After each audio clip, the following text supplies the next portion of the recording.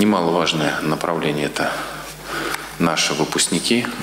Мы очередную десятку получили еще 10 стубальников. Вот уже у нас в копилке 20, да, по русскому языку. Я очень рад, что там появились наконец-то мальчишки.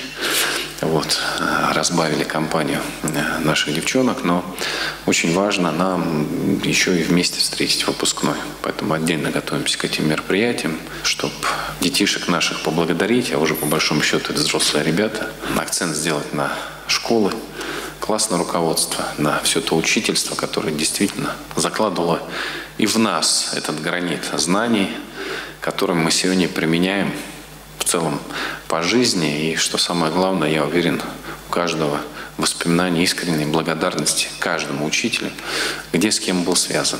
У каждого есть что действительно вспомнить.